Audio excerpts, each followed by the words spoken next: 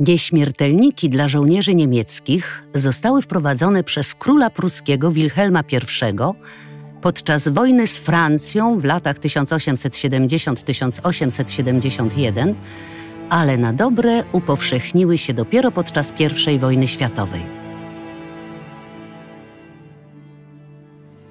Widoczny na zdjęciu, jak wynika z wygrawerowanej na nim inskrypcji, należał w latach 1901-1906 do kapitana Kazimierza Grudzielskiego, służącego w 163 Pułku Piechoty.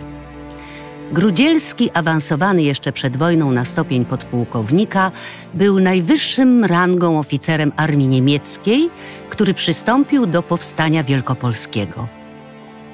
Niemcy, w przeciwieństwie do Rosjan czy Austriaków, bardzo niechętnie awansowali Polaków na wyższe stopnie oficerskie i dlatego po wybuchu powstania większość kadry dowódczej stanowili sprowadzeni do Wielkopolski polscy oficerowie służący wcześniej w armii rosyjskiej.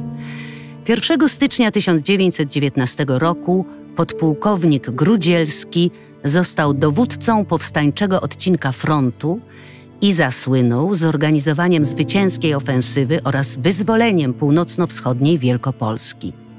W marcu, mianowany generałem wojsk wielkopolskich, zorganizował i objął dowództwo II Dywizji Strzelców Wielkopolskich, a później, jako inspektor piechoty przy głównodowodzącym, zajmował się wykształceniem żołnierzy trzech dywizji wielkopolskich i kadr dla dywizji pomorskiej.